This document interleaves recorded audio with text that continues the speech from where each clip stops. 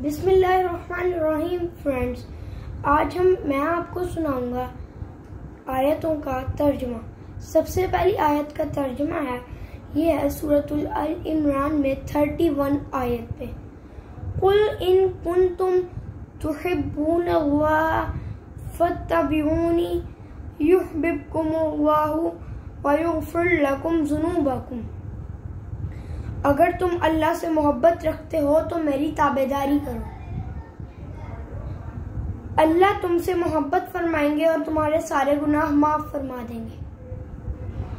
इस आयत से मालूम हुआ कि रसूल करीम सल्लल्लाहु अलैहि वसल्लम के नक्शे कदम पर चलने से एक तो अल्लाह ताला मोहब्बत फरमाएँगे और दूसरा गुनाह माफ़ फरमा देंगे। बंदे को और क्या चाहिए?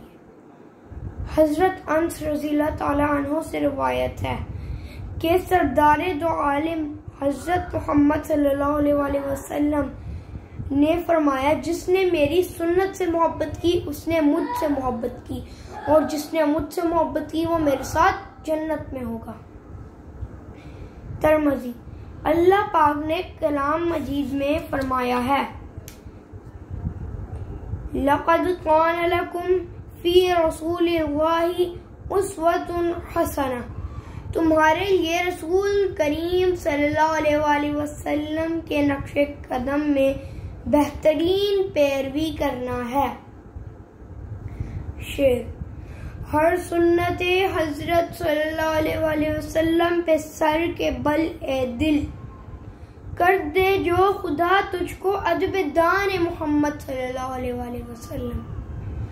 मैं हूँ, मेरे माँ बाप हो, कुर्बान मोहम्मद वसल्लम। क्या बात है हज़रत मोहम्मद वसल्लम की इताअत के शर्फ की? मैं शहान तो आलिम में गुलामान मोहम्मद वसल्लम। मैं हूँ, मेरे माँ बाप हूँ, कुर्बान मोहम्मद सल्लल्लाहु अलैहि वसल्लम। सदाकल्लाहुल अज़ीम